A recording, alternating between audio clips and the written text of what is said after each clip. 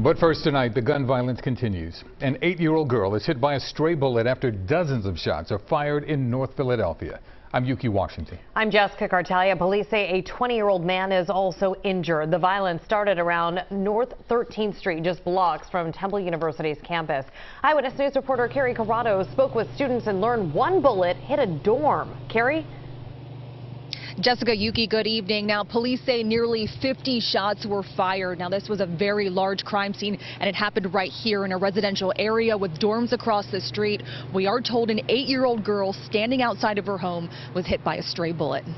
A double shooting unfolded on North 13th Street Thursday night. When police arrived, they found an eight-year-old shot. They say the left side of her head was grazed by a stray bullet. She was taken to the trauma unit at Temple Hospital and transferred to St. Christopher's Hospital.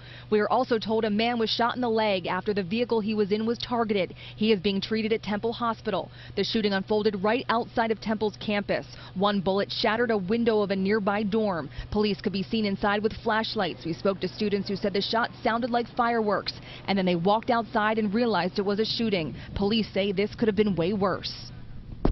As unlucky and tragic as this is, we're very fortunate that she was just grazed and she's in stable condition. She was conscious, walking and talking. All I hear is a loud car screech, and then I hear gunshots and the glass just breaking.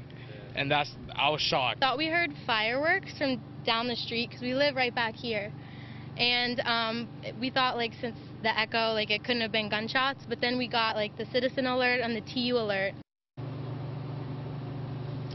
Commissioner Outlaw also tweeted tonight saying a group of cowards with guns waited on a residential street to open fire on a passing car. She said by the grace of God, they will recover physically. At last check, both victims are in stable condition. We're live tonight. Kerri Corrado, CBS 3 Eyewitness News.